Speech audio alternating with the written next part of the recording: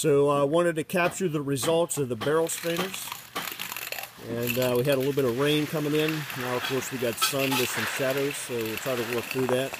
Uh, this is the performance of the barrels. You can see we had a variety of different shapes and sizes. Uh, we also had a ice strainer in the back. We only had one ice strainer to test, but the results will all be published in the report uh, and in the presentation. So we had a low of about 1,720 gallon a minute up to a high of 1864. The reality of it, if you look at these three right there, they're pretty close, an 1830 and 1852 and a 64. Then you got uh, four that were the same flow, 1672. Interesting was that those two right there came from a 1959 Seagrave pumper. Uh, we then have, the interesting thing is the short squat one was the highest flowing one.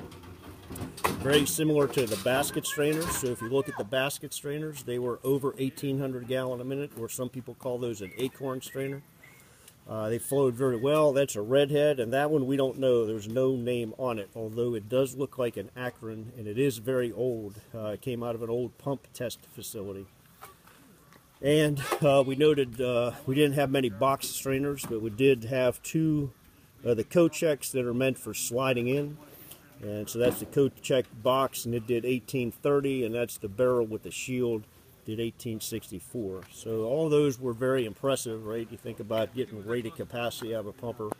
Uh, they did a good job, even though they're all different uh, lengths and size of openings and so forth.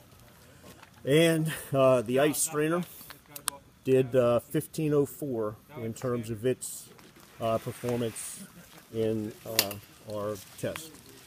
So right now the folks are setting up to compare suction elbows and to compare the operation of a front intake on a pumper. And those will be our last tests. Again, everything will be available in a report eventually when that gets done, probably uh, 30 to 45 days out from this point.